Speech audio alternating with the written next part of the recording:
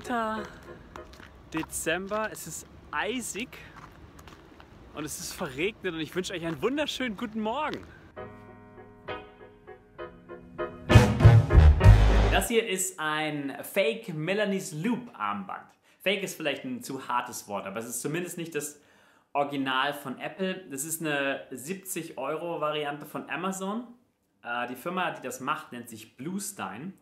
Und sie machen einiges richtig. Es ist ein interessanter Kompromiss. 70 Euro ist nicht die komplett Billo-Version. Ich meine, es gibt schon Armbänder für 12 Euro oder so. Aber es ist auch nicht die 200 Euro Version von Apple. Ähm, man nimmt aber ein bisschen was in Kauf an Abstrichen, logischerweise. Die ähm, Verbindungsstücke beispielsweise, die sind aus Plastik. Wohingegen die ähm, auf Apples Seite aus Edelstahl auch sind. Das Geflecht fühlt sich sehr, sehr ähnlich an.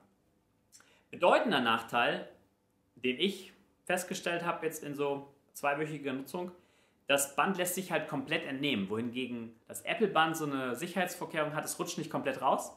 Das hier kann komplett abgehen äh, und da muss man ein bisschen aufpassen, dass die Uhr einem nicht runterfällt. Es fühlt sich ansonsten nett an, schließt nett, ist ein bisschen länger als das Original, aber ansonsten, ähm, also das geschulte Auge erkennt durchaus, dass das äh, nicht das Original ist, aber es kommt nah dran.